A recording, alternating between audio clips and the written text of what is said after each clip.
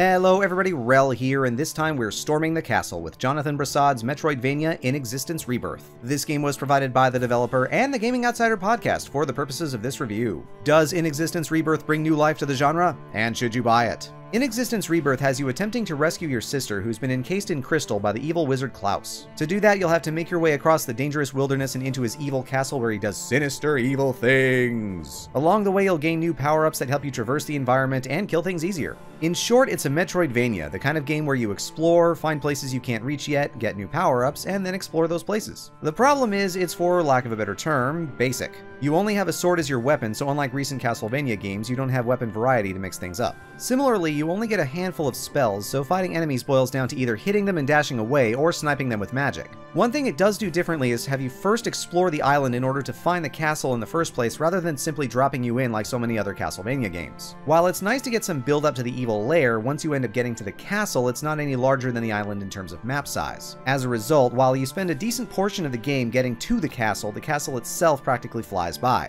Because the map isn't any larger, bosses and new abilities are more frequent, and it feels like you're speedrunning your way to the final battle. Ultimately, Inexistence Rebirth feels like a game that has some interesting ideas, but doesn't execute them very well.